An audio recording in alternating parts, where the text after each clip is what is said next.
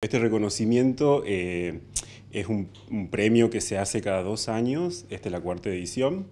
en donde por iniciativa de la hijada y sobrina de Federico Leluar, del doctor Federico Leluar, eh, se premia investigaciones realizadas en Argentina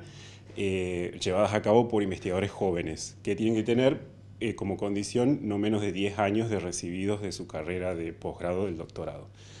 Eh, yo me postulé este año y bueno, en realidad no, gané el premio el primer lugar, pero sí saqué una mención especial eh, por la investigación que estoy llevando a cabo acá junto con un grupo de investigadores en donde eh, no solamente participamos acá en biología molecular, sino también participan investigadores y docentes del Departamento de Química, en el cual estamos desarrollando terapéuticas alternativas para un tumor de humano del sistema nervioso central que se denomina glioblastoma. Es un tumor en adultos que si bien no tiene una incidencia muy alta de aparición, cuando aparece este tipo de tumor en pacientes,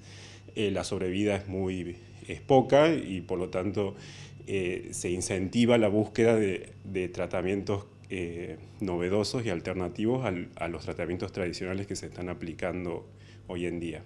Justamente, profesor, ¿cómo comenzó el interés por esta línea de investigación? ¿Cómo comenzó el desarrollo y en qué situación está eh, esta línea? Eh, bueno, el interés tiene que ver con mi formación. Yo soy veterinario, médico veterinario de, formación de grado y siempre me interesó el sistema nervioso central.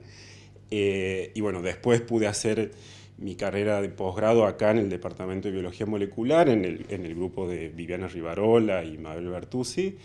que estaban abocados al estudio de, cáncer, de, tumores sólidos.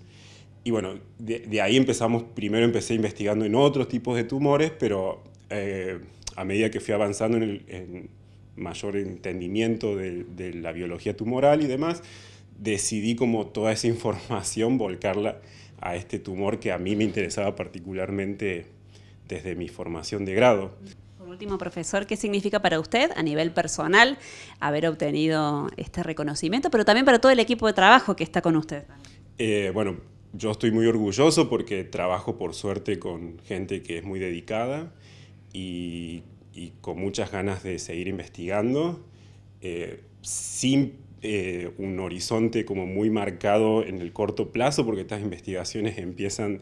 desde una idea que planteamos hasta ensayar en en cultivos de células, eh, y luego vamos descubriendo nuevas moléculas o nuevos mecanismos y eso nos lleva como a seguir profundizando en el conocimiento.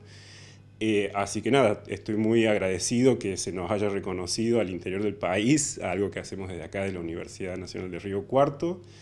eh, en donde la investigación biomédica no, no, es el fuerte de esta universidad, pero bueno, gracias a las personas que me formaron eh, Mabel no, me los, no, me quiero Mabel Bertuzzi, eh, Inés Islas, eh, Vivi Rivarola, después mi postdoc en, en, química con Rodrigo Palacios, Carlos Chesta. Bueno,